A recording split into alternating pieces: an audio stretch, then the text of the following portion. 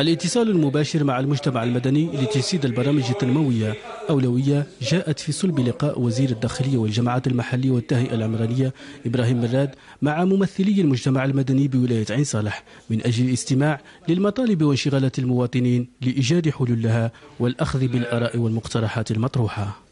نتمنى أن تبرمج هذه الترميمات أو الطرقات من إنجاز الطرقات من جديد بمعايير عالمية كما تكلم على سيادة الرئيس.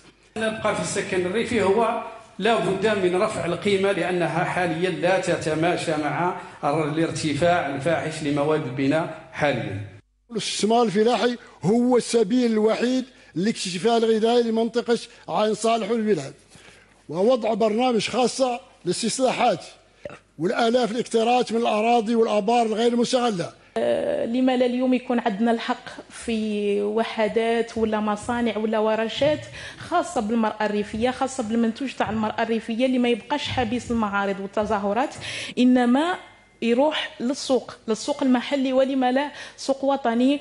وأوضح الوزير أن ولاية عين صالح بمؤهلاتها البشرية والطبيعية بإمكانها خلق فضاءات للثروة واستثمارات واعدة تسخر لها الدولة كل آلية الدعم والمرافقة للوصول إلى ركب الولايات الكبرى بمجرد أنها ارتقت إلى مصف ولايات برزت.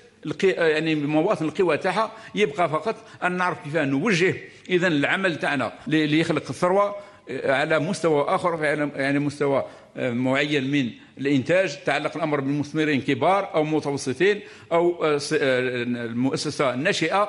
اهتمام كبير توليه الدولة للولايات المستحدثة من خلال استراتيجية واعدة في تحقيق مساعي تحسين ظروف المواطن بعين صالح.